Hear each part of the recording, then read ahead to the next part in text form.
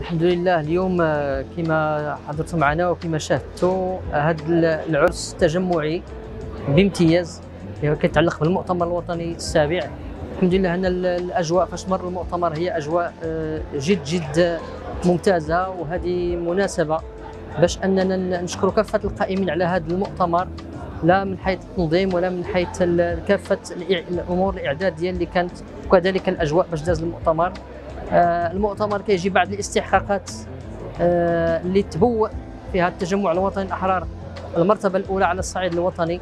الحمد لله وكيجي كذلك بعد واحد العدد ديال الأمور واحد العدد ديال البرامج اللي تلقاها تلقاتها الحكومة اللي كيترأسها السي عزيز أخنوش اللي كنجددوا فيه الثقة اليوم مجموعين بالرسالة ديال الإجماع. الإجماع يعني رسالة مهمة جدا اللي قدمها المؤتمر الوطني ب 13 جهه داخل الوطن وخارج الوطن.